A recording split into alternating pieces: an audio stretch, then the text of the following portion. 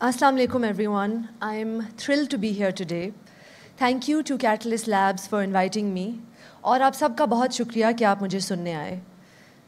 My talk is going to be divided into two parts. For the first part, I'll talk a little bit about the importance of storytelling, why it matters, how to do it, and how it permeates everything we do. The second part of my speech will focus on women and culture.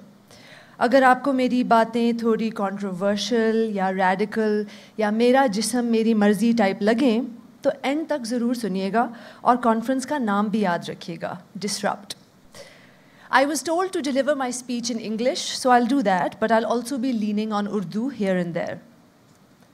So, why tell stories? Why are stories important? Our need for narrative goes back 2,000 years. At its heart, telling a story is an act of creation. It is an act of self authorization and of agency. Telling your own story is a defiance of the conditioned ways in which you've been taught to think. We've been so trained to think along particular lines, to think of ourselves along the lines that society sees us, that telling your own story becomes an act of radical autonomy. What do you think politics is? The political party you support, and I'm staying away from the nitty gritty of that today, you support it because you believe the story it is telling about yourself the world, your values. Look at everyone sitting around you. Everyone has a belief system. Everyone has a political vision they support. In other words, everyone has a narrative they believe about the state of the world. Which brings me to the theme of entrepreneurship. The single best trait of an entrepreneur is someone who can tell, frankly, a compelling story. Investors have a short attention span. They'll give you the most attention at the start of your pitch make it count. Steve Jobs, the late CEO of Apple, was as successful as he was because he understood that design was as important as product. They go hand in hand. He made a beautiful product and disrupted the assumptions of the tech industry. Folks thought functionality was all, and it is important. But aesthetics, the way in which we tell a story, is equally important. Steve and Apple's head designer understood, for example, the value of packaging. His colleague recounts Stephen and I spend a lot of time on packaging. I love the process of unpacking something.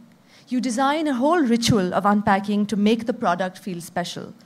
Packaging can be theater. In other words, try to the best of your abilities to marry form, the way in which you tell a story, and content, the substance of the product try to tell a successful story. So, why do I write and act? What does it do for me? The painter John Cage has a quote that I want to share with you. He says about the artistic process when you start working, everybody is in your studio the past, your friends, enemies, the art world, and above all, your own ideas. All are there. But then, as you continue painting, they start leaving one by one, and you are left completely alone. Then, if you are lucky, even you leave. I love the last line. Then, if you are lucky, even you leave. You become so immersed in the work, so thoroughly at one with it, that the rational, interfering, actively processing part of your brain takes a back seat. You enter into a flow state. Are there any runners in the crowd? Yes? No? There are? Cool. So you've gone on a long run. There comes a point, if you do it regularly, that you forget how or in which way your limbs are moving. You enter into a flow state. Your mind drifts, your heart expands, your legs keep moving. But you're not actively monitoring the mechanics of the way in which your body is moving. When I'm writing and the writing is going well, I forget to eat or drink for hours Someone has to pull me away from the computer and tell me to re enter life. When that happens, I know the writing is going well. This brings me to the second part of my speech. What stories are we telling ourselves culturally these days in Pakistan? As some of you may or may not know, I'm interested in the conversation around women and the extent to which our choices are dictated by those around us. I'm interested in the spaces we occupy, the spaces we are excluded from, and the conversations around our freedom and autonomy. One of the things I've noticed that happens everywhere in the world, not just in Pakistan, is that women are defined by the roles we play in the lives of the men close to us. When a woman is sexually abused or harassed, people hold up placards that say, She is someone's wife, sister, mother, daughter. तो मेरा सवाल ये है क्या औरत सिर्फ एक रिश्ते का नाम है क्या औरत होने का मतलब ये है कि चूँकि आप किसी की बीवी या बेटी हैं, आप इसलिए माशरे में अहमियत रखती हैं। लेकिन ये हमें बचपन से समझाया जाता है। हमें बचपन से समझाया जाता है कि पूरे माशरे की गैरत एक औरत के जिस्म में है। पूरे माशरे की गैरत ख़वातीन पर डिपेंड करती है। But women I am here to tell you are quite sick and tired of being controlled in this way We are tired of our bodies being the battleground on which male honor is contested. One of the ways in which society curtails and restricts women's freedom is to tell them that they're letting men down, rejecting the roles that they have assigned us the quiet, submissive wife, the dutiful daughter, the wife who sacrifices her own dreams at the altar of her husband's ambition. Misogyny ka naam hi ye hai, to enforce social roles. As the philosopher Kate Manne, whose work I really admire and highly recommend you guys should read it, says, she says misogyny is not a matter of psychological ill health. It is a facet of social power relations. Misogyny, she says, can be thought of as the law enforcement branch of patriarchy. Women are supposed to give feminine coded goods and services such as attention, affection, sympathy, social, emotional, and reproductive labor.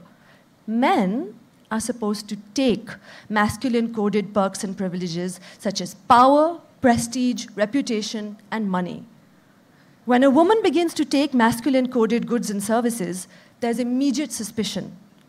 Why is she disrupting her role as a maternal affection giving thing?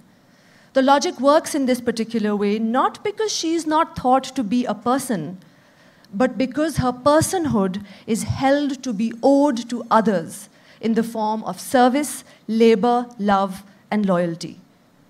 In case you haven't noticed, women go to great lengths to avoid disrupting social situations in which their behavior is culturally scripted because they're worried of opprobrium. They're worried of being cast aside. It's one of the reasons why I show up at Aurat March every year. Just think of it. Aurat March happens once a year and a national meltdown ensues because how dare we galvanize to demand change? How dare we raise our voices? How dare we challenge the status quo?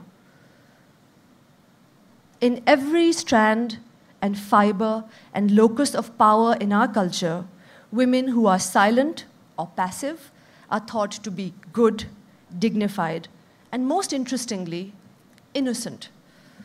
This obsession with innocence is designed to trap young women into an interminable girlhood. Young women who are naive and innocent and perennially cheerful, disengaged from the seriousness of the world.